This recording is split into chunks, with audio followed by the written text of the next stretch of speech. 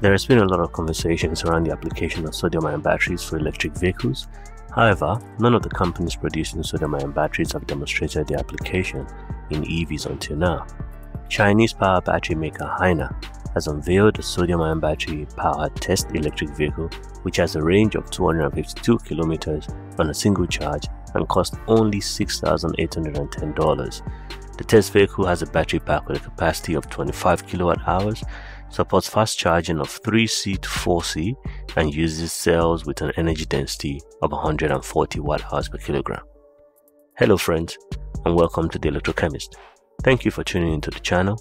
On this channel, we discuss all things battery development, including existing lithium-ion batteries, new and emerging battery systems, battery supply chain, battery production, and battery application.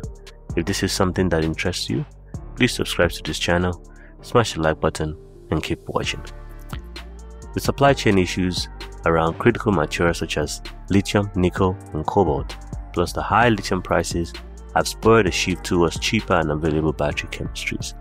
Although most EV makers are now embracing the idea of an electric vehicle powered by lithium iron phosphate batteries, or LFPs, which are cheaper than NMC and NCA cells, there is still value in producing EVs powered by sodium ion batteries.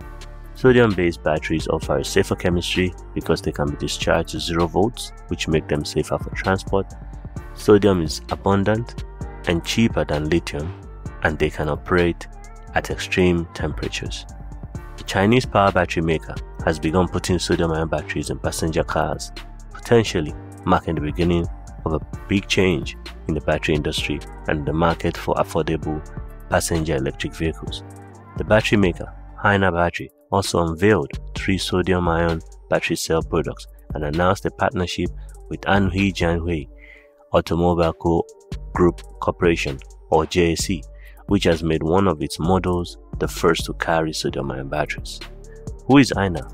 HiNa Battery was founded in 2017 and released its first sodium ion battery in the same year.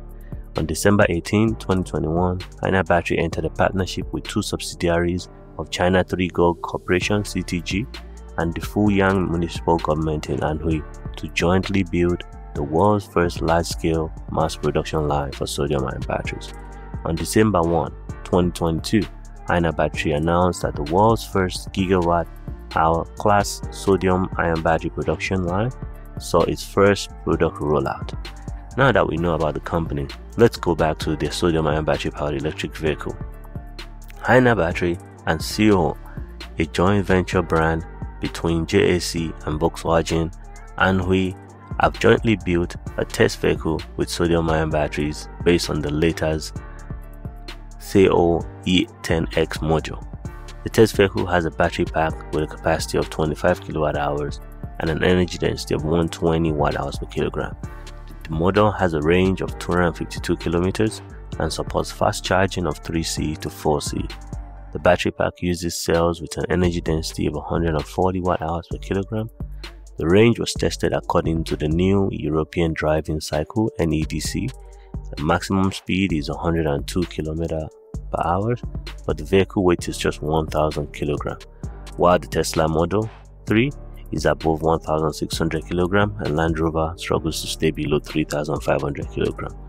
252 kilometers now may sound like a lot, may not sound like a lot, but it is enough for just 90% of most daily trips in inner cities needing a small car, so it's still okay.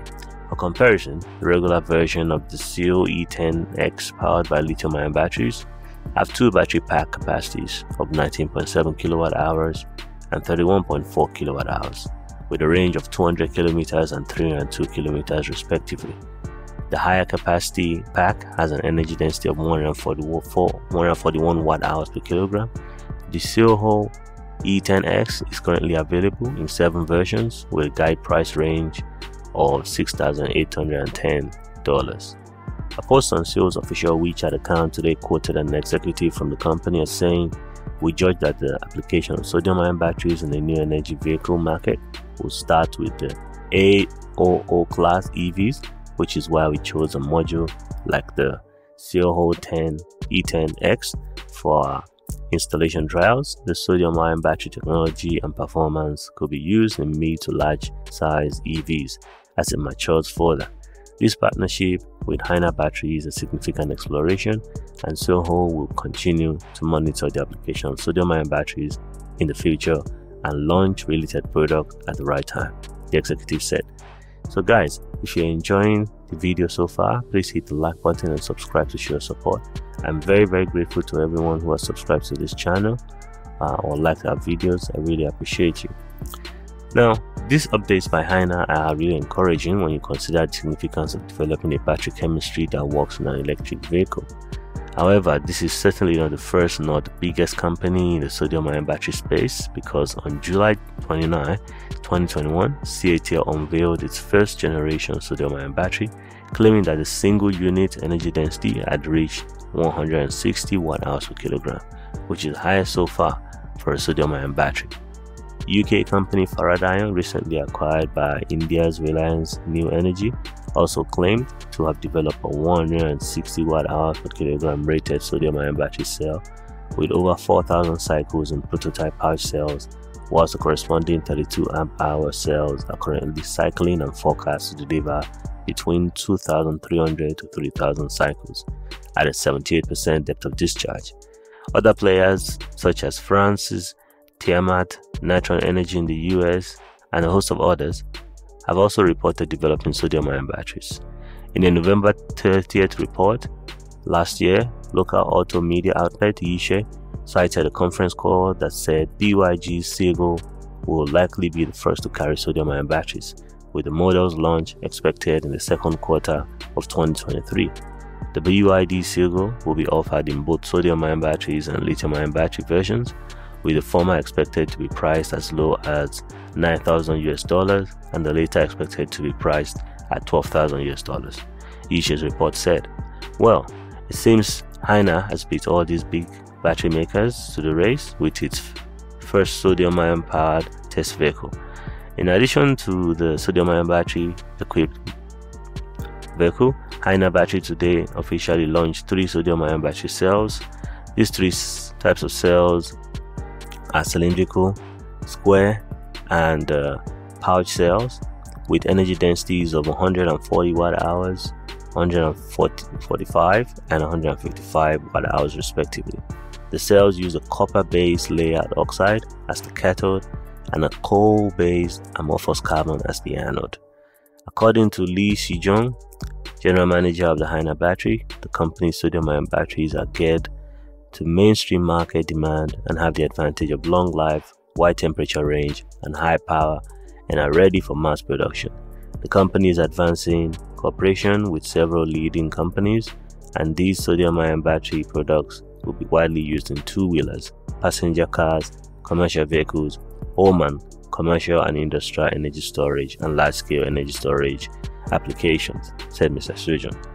Overall, the energy density of first generation sodium ion battery is slightly lower than that of the current lithium iron phosphate batteries, but it has clear advantages in low temperature performance and fast charging, especially in high power application scenarios in ampower regions or cold regions.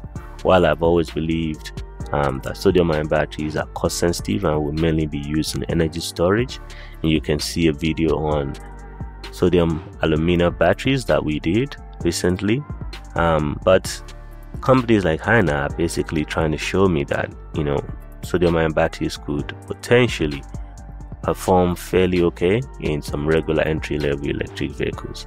But guys, let me know your thoughts on this sodium powered test EV and HiNa battery company. Do you think this could be the beginning of sodium ion batteries in electric vehicles or do we still have a long way to go? Drop a comment in the comment section. If you've enjoyed this video, please show your support by smashing the like button sharing this video and make sure to subscribe to this channel. I love you, I appreciate you. I'll see you in the next video.